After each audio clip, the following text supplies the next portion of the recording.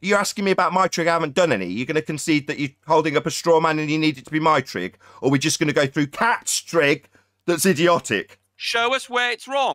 Sorry, whose trig? Show us where Catz trig is wrong. Oh, so we are talking about Catz wit trig then. I'm glad we got there. You seem to be thinking it was mine, like trying to retain that straw man that Catz was trying to burn. So we're definitely going to be talking about the dumbed down Catz trig. Okay. Cat seems to think the top of the mountain's the same as the bottom. He's a proper. And you can show where he's wrong. Yeah, the top of the mountain's not the same as the bottom. The bottom's closer. And you can show where he- I am, I'm saying it, but you seem to be scared of how humiliating Catz trig is. Let's go through it together now. I am. You're ignoring me because it's scary as all hell for a Glober, right? Catz is totally everything up for you guys. And now, as I point out, top mountain far, bottom mountain close. You say, let's go through it then. Let's go through it together.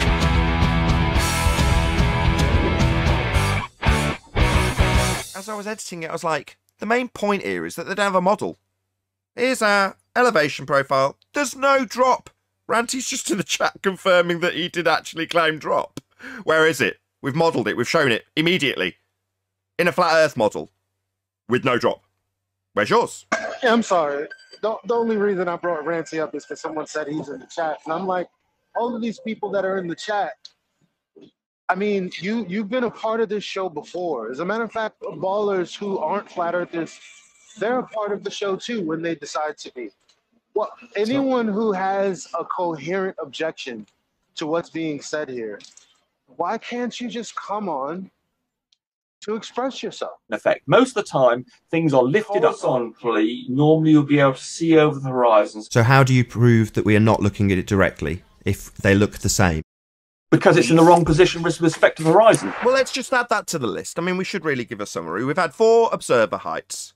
We haven't had a globe Earth model comparison. And weather is real. Check out Bev's time lapse. Now, further to that, we've got this most recent obvious point.